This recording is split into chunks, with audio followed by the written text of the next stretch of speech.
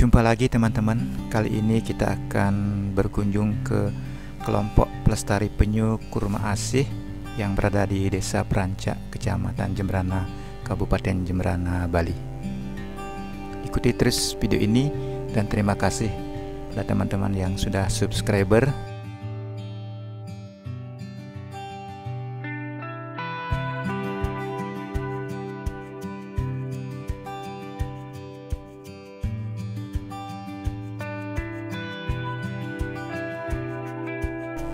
Di area penetasan ini biasanya setiap sarang diberikan label yang memuat tentang asal telur, kemudian jenis telur, jumlah telur per sarang itu biasanya sekitar 70-an, kemudian tanggal inkubasi. Nah, untuk inkubasi ini selama 50 hari kurang lebih.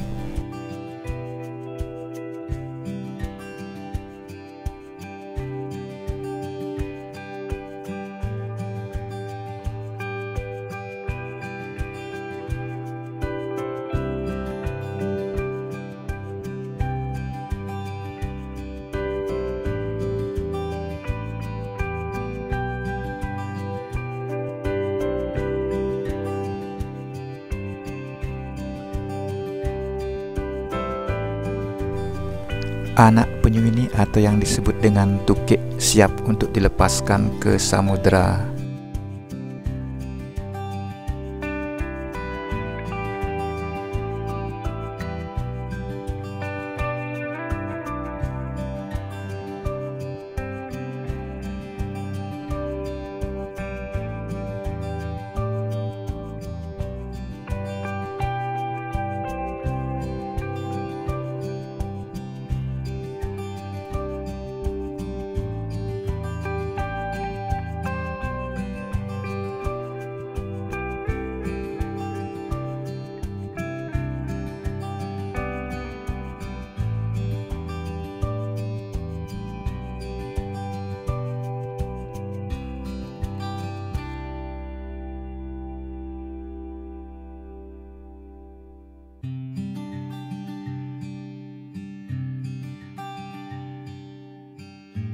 Jenis penyu yang bertelur di sepanjang pantai Jembrana itu ada tiga, yaitu penyu lekang, penyu sisik, dan penyu belimbing.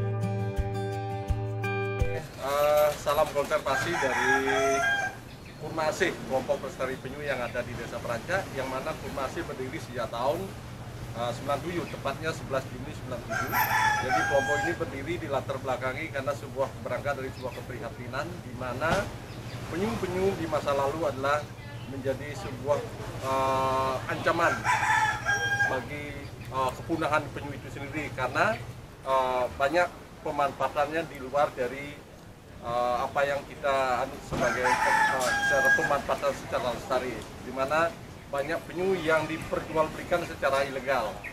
Nah, kalau ini terus berlangsung, tidak menutup kemungkinan penyu itu akan punah dan penyu akan tinggal cerita, tinggal nama saya. Nah, untuk itulah keberadaan Kurmasi ini kenapa didirikan satu untuk menambah populasi penyu uh, yang ada di perairan kita khususnya Bali dan Indonesia pada umumnya. Nah, jadi uh, Kurmasi bergerak di situ. Jadi sejak tahun 97 kita melakukan kegiatan ini di latar belakangi oleh ya itu tadi karena sebuah keprihatinan kita merasa terpanggil untuk menyelamatkan satwa yang langka ini yang dilindungi oleh undang-undang. Dari mana aja nih Pak? Telur-telurnya nih Pak? Ini Ini. telurnya sepanjang pantai Jembrana. Hmm. Tapi yang paling banyak itu pantai Perancak, uh, Pengambengan, Hmm. uh, Hembang. Nah, sisanya itu ada pangyangan, pekitatan gitu Pak. Jadi mereka bawa ke sini langsung nih Pak? Langsung dibawa ke sini. Nah ini kenapa dipindahkan? Karena kita dilematis ya Pak ya. Kalau seandainya pantai kita ini selatan Bali ini tidak abrasi aja, kita biarkan aja secara alami. Hmm. Tapi kalau nggak dipindah, ya kemarin itu awal Juni kan gitu kejadiannya. Uh, banjir rob, gelombang, pasang tinggi. Iya. Jangankan yang di dekat pantai Pak, Uh-uh.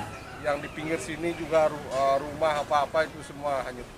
Perbandingan hidup yang dilepas sama yang hidup itu berapa nih kira-kira Pak? Seribu hanya satu Pak.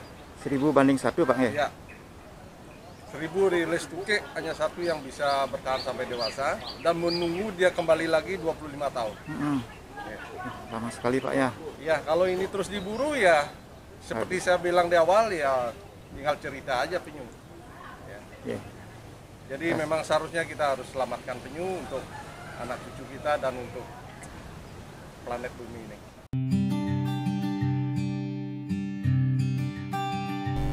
Selamat berjuang teman kecilku. Jangan lupa untuk pulang kembali. Teman-teman, demikianlah video kali ini. Jangan lupa di-subscribe, diberikan komen sehingga saya bisa membuat video yang lebih baik lagi. Terima kasih, sampai jumpa.